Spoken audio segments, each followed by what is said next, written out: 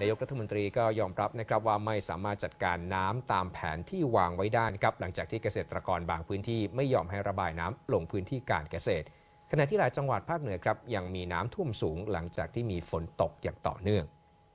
ไปเริ่มดูกันที่จังหวัดอุทัยธานีกันก่อนนะครับ หลังจากมีฝนตกหนักตลอดทั้งคืน ส่งผลให้มีน้ำป่านะครับหลากมาตามฝายกั้นน้ำและอ่างเก็บน้ำเข้าท่วมหลายตำบลของอำเภอลานสัก โดยเฉพาะหมู่ที่ 6 8 และ 12 ของตำบลทุ่งนางงาม บ้านเรือนและนาข้าวถูกน้ำท่วมหลายพันไร่ โรงเรียนถูกน้ำท่วมจะต้องสั่งปิดไม่มีกำหนด ขณะที่ระดับน้ำยังเพิ่มสูงขึ้นต่อเนื่อง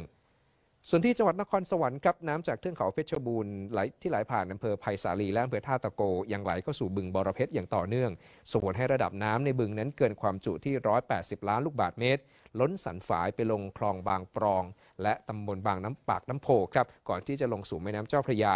ส่งผลให้บ้านเรือนที่อยู่ตามเส้นทางน้ำนั้นถูกน้ำท่วมไปด้วย ส่วนที่ชุมชนวังแดงตำบลในเมืองอำเภอเมืองอุบลราชธานีครับซึ่งอยู่ริมฝั่งแม่น้ำน้อย น้ำท่วมสูงกว่า 1 เมตร และมีแนวโน้มสูงขึ้นต่อเนื่อง เจ้าหน้าที่หลายหน่วยงานที่เกี่ยวข้องครับนำถุงยางชีพและเรือท้องแบนไปช่วยเหลือ รวมทั้งนำทีมแพทย์ตรวจสุขภาพชาวบ้าน ที่อพยพไปอยู่ที่บริเวณสวนสาธารณะห้วยม่วงเป็นการชั่วคราว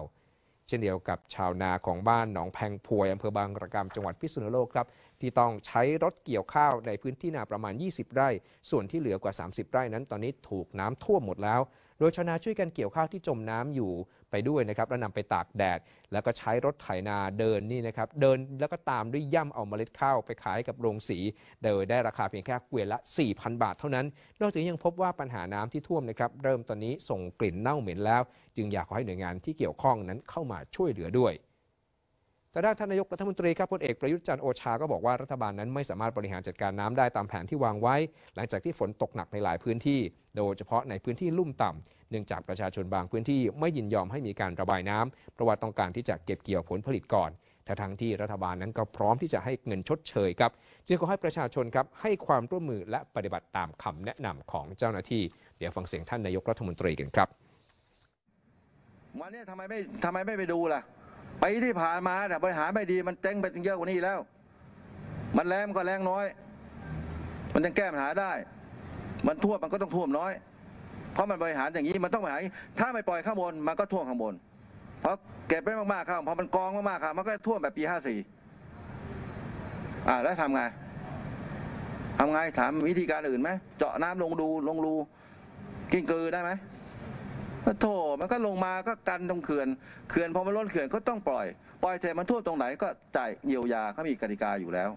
ตรงไหนจะต้องเป็นอะไรล่ะ ที่มันยังเกี่ยวไม่ได้ ถึงเวลามันท่วมก็ต้องท่วม ก็ชดเชยไป ถ้าถ้าจะรอเกี่ยวข้าวเหรอแล้วมันท่วมมากขึ้นกว่าเดิมตรงนั้นทั้งหมด แล้วจะทำไงนี่จะเกี่ยวข้าวอย่างเดียวไอ้ที่เหลือท่วมทั้งหมด สร้างคนให้เขาคิดแบบนี้สิไม่ใช่ฉันอยู่ดีท่วมท่วมใครก็ช่างมัน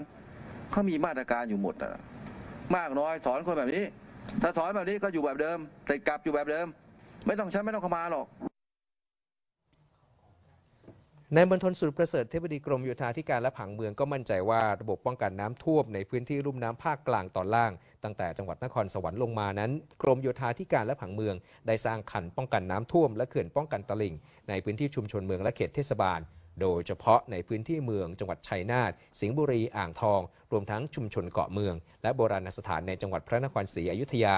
โดยก่อสร้างระบบป้องกันน้ำท่วมไปแล้ว 32 จังหวัด 77 พื้นที่ชุมชน คิดเป็นพื้นที่รับประโยชน์กว่า 900,000 ตารางกิโลเมตร